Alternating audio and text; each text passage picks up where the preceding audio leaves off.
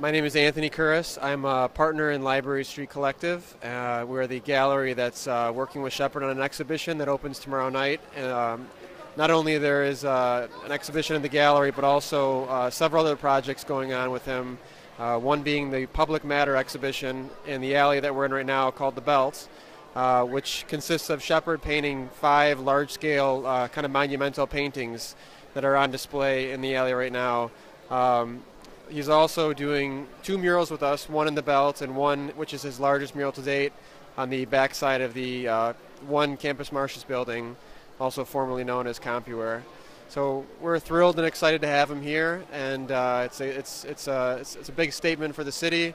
Um, and obviously his mural and, and this, the scale uh, can be seen from miles away. So we're excited about that, and uh, we're happy.